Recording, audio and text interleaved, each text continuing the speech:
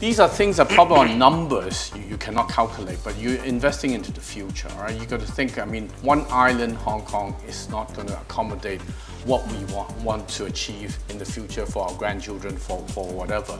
It's got to be a Delta region, an extended part of Hong Kong. So this is where the investment is, as far as I'm oh, concerned. The- Having this bridge and the Tuen Mun connection, it increased our GDP by 0.1%, uh, which is about 3 billion, um, then, then pays for it. So, you know, it, that is your judgment call. Our judgment call is, okay, so do we want to invest uh, this 120 billion to increase potentially our GDP every year for the next uh, 30, 40 years by 0.1%?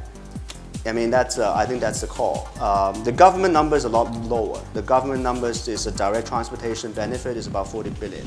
Uh, so, uh, but I think it's a judgment question. Okay, whether we think as we like just run, run it like running any business, whether we think investing this by would increase our GDP by 0.1% for the next 30 years. Uh, as an example, uh, I'm in the uh, trade show conference business.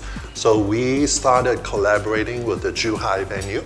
So from an external visitor viewpoint, it's a lot more attractive than just a Zhuhai destination or just a Hong Kong destination. Of course, we have to wait till the bridge, but we have uh, come up with a new product where externally, oh, it's a more attractive destination to come to Hong Kong plus Zhuhai.